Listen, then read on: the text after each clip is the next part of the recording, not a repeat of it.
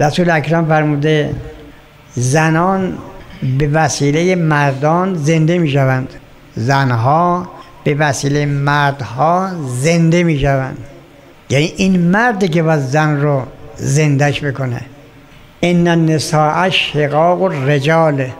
زنها به درستی که زنها شکافنده مردانند. اگر زن زنده شد شکافنده مرد میشه. اگر زنده نشد که شکافنده نمیشه که شکافنده یعنی چی؟